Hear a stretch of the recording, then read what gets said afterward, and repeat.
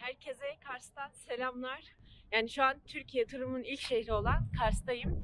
Ee, gerçekten Kars'ta olmak benim için de çok güzel bir duygu şu anda. Yani neden Kars'ta başladın derseniz e, kışın böyle Kars'ın daha güzel olacağını düşündüm.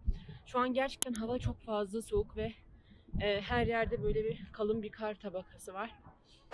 E, tüm muhteşem hikayeler iki şekilde başlar. Ya bir insan yolculuğa çıkar ya da şehre bir yabancı gelir demiş Tolstoy.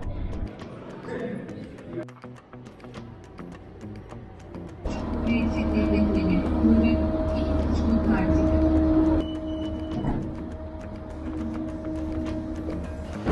Sen ne güzel bulursun Gezsen Anadolu'yu Hepiniz hoş geldiniz. Bugün sizinle beraber Anadolu'nun en güzel şehrini gezeceğiz.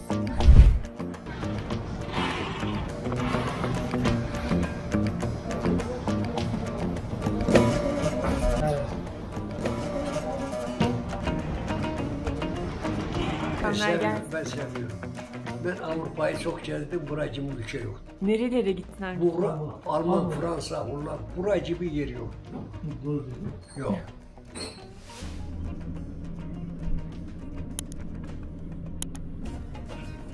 Güzel, güzel bir şehir yok. Misafirlere, yabancılara çok samimi, çok sıcak ama bizim sıkıntımız var. Sıkıntımız da nedir? Bakımımız yok. Hepsi bu.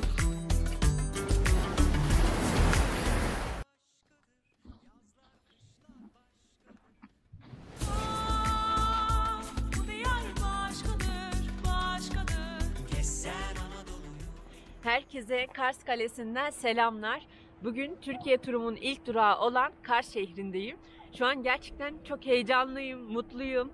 E, hava çok soğuk ama bu durum gerçekten bana engel değil öyle söyleyeyim. Yani ilk gezmek istediğim ve video çekmek istediğim yerin e, Kars olacağını ben de çok planlamamıştım ama gerçekten bu durumdan dolayı çok mutluyum. Ya böyle bir taraftan rüzgar esiyor, kamera sallanıyor, ben sallanıyorum. Şu an nasıl göründüğümü de bilmiyorum. Ee, sonuç olarak Kars'ta bugün sizinle beraber geziyor olacağız. Hatta böyle Kars'ta hissettiğim şeyleri de size göstermek istiyorum. Belki siz de buradan etkilenir ve bir şekilde Kars'a gelmek, kendi hikayenizi yazmak ya da bir yolculuğa çıkmak isteyebilirsiniz.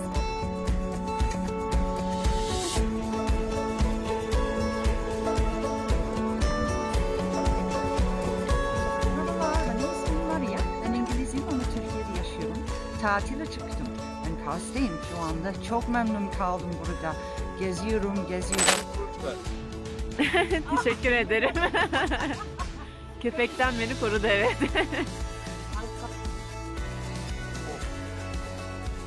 Bu bir şiirin başlangıcı olsaydı içimde hissettiği şeye karın sessizliği derdi. Kar yağıyor bu kente. Kars'ın kalesine astım kırık umutlarımı. Belki gelirsin diye. Ama hiçbir şekilde gelmedin. Kar eridi. Hüznün ke- başkenti oldu burası. Benim dilim sürçmeye başladı. Aynı doğaçlama bir şiirdeki bir kadına rastladığım gibi. Bilmiyorum. Sen hangi şiirin öznesisin de bu kente bu kadar yakıştın? Ben şu an soğuğun ortasında yanıyorum. Senin sıcaklığın güzel, ellerimiz güzel.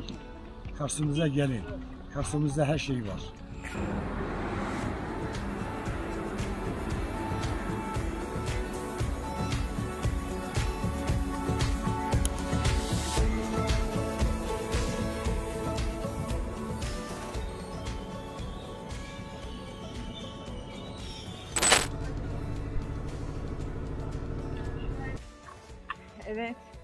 Ben şimdi dolmuştan indim. Kars Kalesi'ne doğru gidiyorum. Yani Kars görmeyeli daha farklı geldi, daha değişik geldi ama şu an yollar gerçekten çok bozulmuş bir halde. Yani dolmuşla gelirken bile çok zorlandık. Gördüğünüz gibi şu an yolların pek bir hali kalmamış. Araçlar bile gelip giderken zorlanıyor. Kars Kalesi'ni gezmeye geldim ama maalesef kapıyı kilitlemişler. İçeri girmek mümkün değil. Sadece bu kısma kadar çıkıp böyle şehri izleyebilirsiniz. Giriş şu taraftan. Hatta bir üst katı var diye de biliyorum şu karşıda ama maalesef kapatmışlar. Yani arada bir rüzgar esiyor. Çok fena soğuk ama şu an yine de havanın böyle iyi olduğunu, açık olduğunu söyleyebilirim. Şu an Kars Kalesi'nde de tek başımayım. Kimse yok bugün burada. Yani ya gelenler akşam gelecek ya da bugün gelmeyecek. Çünkü hava gerçekten çok soğuk. Ee, kaleyi de bu şekilde görmüş olduk. Yani siz de gelirseniz zaten Kars Kalesi'ne ulaşmanız Kars'ın her yerinden mümkün. Kolay bir şekilde kaleyi görüyorsunuz ve ilk zaten uğramak isteyeceğiniz yerde burası oluyor. Ben biraz böyle önümü kapatayım. Gerçekten çok soğuk esiyor. Kars'a gelin. Yani Kars çok özel bir yer zaten.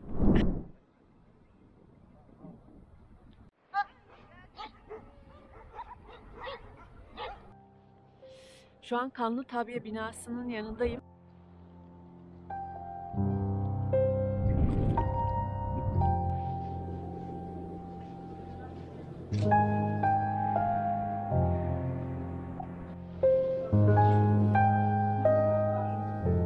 Burası Kafkas e, Savaşları'nın cephesinde olan e, bütün olayların hikayeleştirilerek anlatıldığı en güzel yerlerden bir tanesi. Bu ara çok fazla kar var. Gerçekten ayaklarınız da kayıyor. Bir anda düşebilirsiniz. Yani bahçeyi şöyle göstereyim size. Gerçekten. Burası 1803 yılında Padişah 3. Selim döneminde e, Tabya, yeni Tabya ismiyle yapılmış. Şu an ben direkt etrafındaki yere de gitmek istiyorum. Biraz ters taraftan başlayacağım. Bu karşıda gördüğünüz yerde e, Kazım Karabekir Paşa'ya Ruslar tarafından e, hediye edilen veya e, beyaz vagon yer alıyor. O zamanlarda kendisi bu vagonu ofis olarak kullanmış hatta.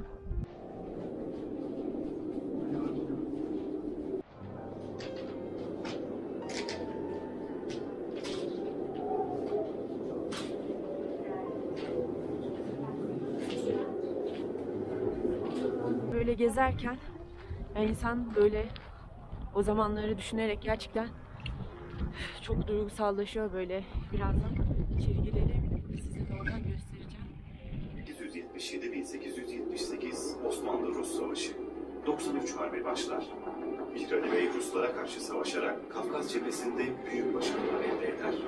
Burası 1803 yılında e, Padişah 3. Selim döneminde Yeni Tabya ismiyle yaptırılıyor.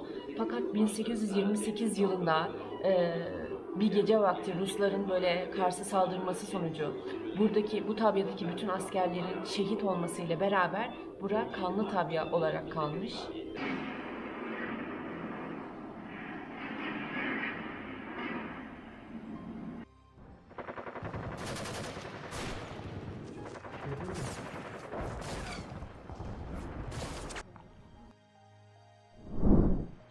Arada Kars'ın ismi Karsaklardan geliyormuş. Yani hiç bugüne kadar ismi değişmemiş.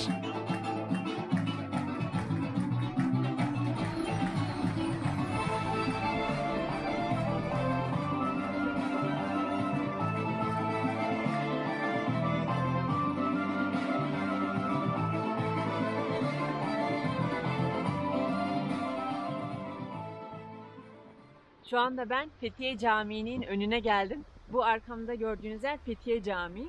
Yani Kars'ta görülecek yerler listesine burayı da ekleyebilirsiniz. Ee, burası 19. yüzyıl zamanında Ruslar tarafından yapılmış yani kilise olarak inşa ediliyor ve daha sonrasında camiye dönüştürülüyor ve şu anda da e, cami olarak kullanılıyor ve Baltık mimarisinin en güzel örneklerinden bir tanesi bu gördüğünüz cami. Evet,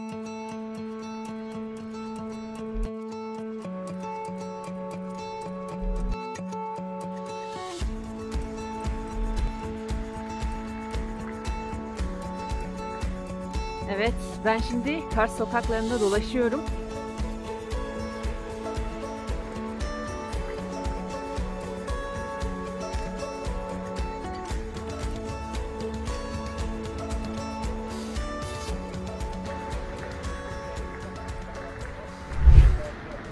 Özellikle Rusların Kars'a gelmesiyle beraber şehir mimarisine büyük bir değişiklik oluyor. Çünkü Ruslar geldikleri dönem Hollanda'dan getirdikleri mimarlara şehir planlaması yaptırmışlar. Şimdi şehir planlamasında buranın en dikkat çeken tarafı da şöyle bir şey. Ruslar buraya geldiği zaman ızgara plan denilen bir sistemi yapıyorlar. Yani bu planda yolların birbirine dik kesişmesi diyoruz biz ona. Yani şehrin bir tarafında organik doku, organik doku dediğimiz çıkmaz yollar çoğunluktayken bir tarafında yani özellikle bu bölgede çok fazla ızgara dokuyu bulabilirsiniz.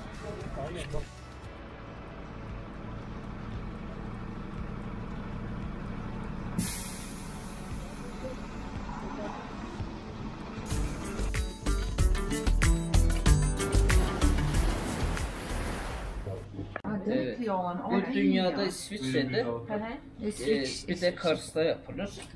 25 kilo sütten 1 kilo elde ediliyor. Sadece Mayıs, Haziran, Temmuz ayının sütüyle elde ediliyor. Başka ayın sütü olmuyor bununki. Yani şöyle buyurun. Şu 5 yıldız otellerde şu boşluklara çerez vesaire doldurup sıcak fırına düzüp sıcak fırında e, şarabın yanında ikram ediyorlar. Sıcak şarabın yanında. Peynir değil mi bu?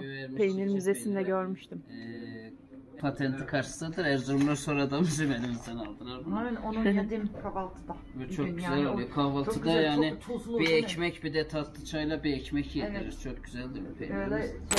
Açtığınız zaman böyle bir koku çıkıyor önce. Kokuyla karşılaşıyorsunuz. Muhteşem bir koku.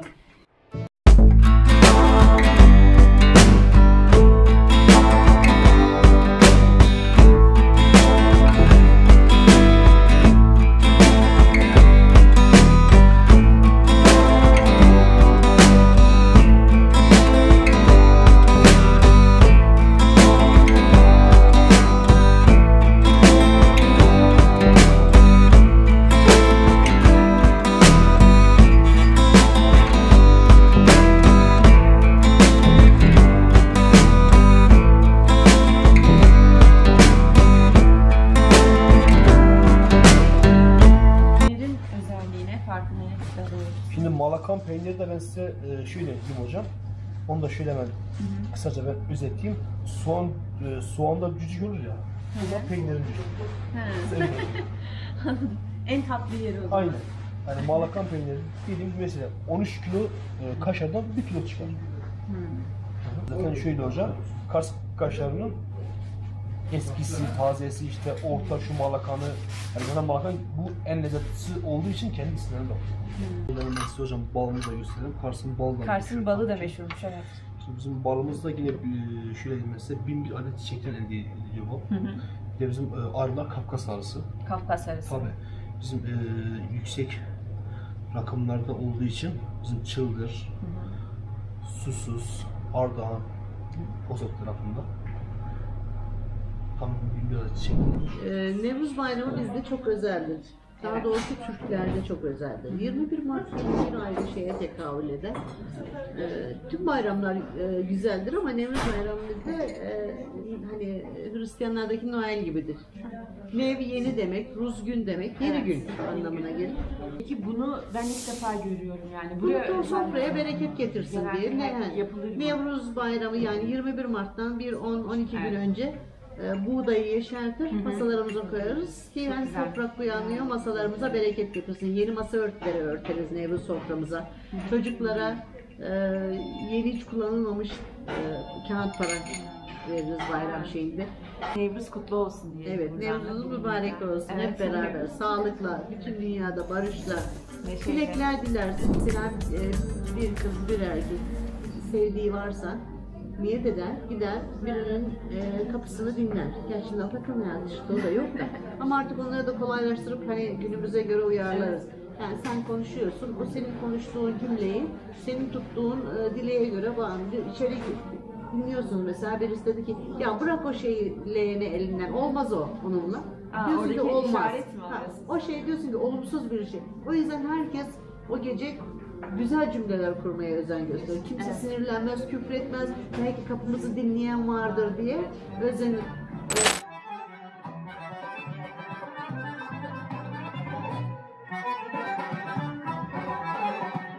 Şimdi ben bu caddeyi de yürüdüm. Kars'a daha önce geldiğim için böyle çok farklı yerleri görmekten ziyade bildiğim yerleri biraz dolaşmış oldum. Şimdi kale tarafına doğru iniyorum. Ve bir taraftan da zaten Kars'ı size göstereyim. Karşıdan ilerleyeceğiz. Yani şöyle bir olaya şahit oldum. Daha doğrusu birkaç ki- kişi bunu dile getirmemi istedi. Yani biz hepimiz dışarıdan böyle Kars'ı e, farklı duygularla merak ediyoruz. Yani gerçekten Kars'a gelmek, Kars ismi dışarıdan bize çok büyüleyici geliyor. Ama Kars'ta yaşayan birçok insanın böyle maalesef Kars adına üzüntüsü var. Yani özellikle ben dolmuşla sü- sürekli çarşıya gelip gittiğim için yani birçok insan şey diyor. Mesela şu yolu görüyor musunuz? Yolların haline bakın ya da şehrin ne kadar bakımsız olduğundan bahsediyorlar. Yani tabii onlar da kendi adına haklılar. Ama Kars gerçekten çok güzel bir şehir ve daha güzel olmayı da hak ediyor bence. İstediğim yollar bu şekilde yani. Gidiyorsunuz özellikle bu bile daha düz bir yol. Ee, yani aşınmış artık. Araçlar böyle sağ sol zikzak yaparak geçiyor yollardan. Evet. Kars'ta bugün gerçekten çok güzel bir gündü. Ayrıca bugün böyle Nevruz etkinlikleri de var. Eğer yetişebilirsem ona da katılıp artık Kars gezimi sonlandırmak istiyorum. Gerçekten çok güzel bir gezi oldu. Ve Kars'a gelip bu sefer gezdiğim, gör- gördüğüm yerleri size de aktarmaya çalıştım. İnşallah başarılı olmuşumdur. Yani inşallah sizleri de Kars'a getirmeye teşvik etmişimdir. Evet, karşı tarafta. Bakalım nereye gideceğim. Pardon, kale tarafına buradan mı? Abla buradan ters yöne çıkarsın. Şöyle bak dedim sana. Yol var. Evet, aşağı mı gideyim? İndiniz sağa dönün dümdüz gidin. O, siz- o yol sizin. Aa, kale sağda mı kalıyor? Aynen bu tarafta. Aa, tamam, sağ olun. Kolay gelsin. Tamam. Hı hı, tamam, sağ olun. Çok fazla insanlarla sohbet etme şansım olmadı. Ve Kars çok soğuktu zaten geldiğim gün. Yani ben toplamda 2-3 gün kadar Kars'ta kaldım. Ee, olabildiğince böyle sohbet etmeye çalıştım yolda gördüğüm insanlarla ama gerçekten hava çok soğuktu. Yani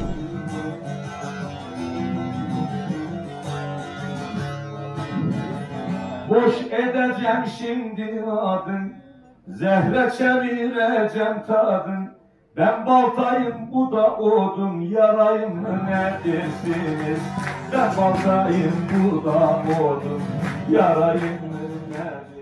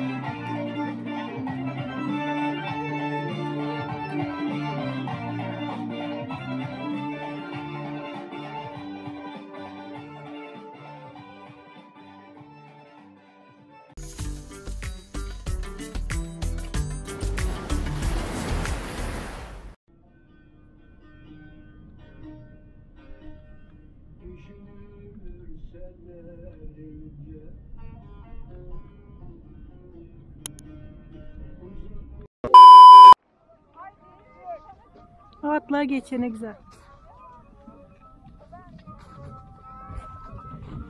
Hepiniz hoş geldiniz. Ay, bir dakika diyeceğim cümleyi unuttum. Atlar geç.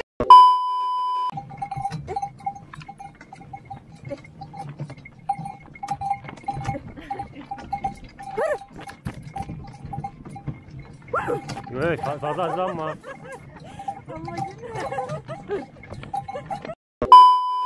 başlamış kendisi. Evet Ayaz. Şimdi bir yeteneğin var mı? Var. Ne var?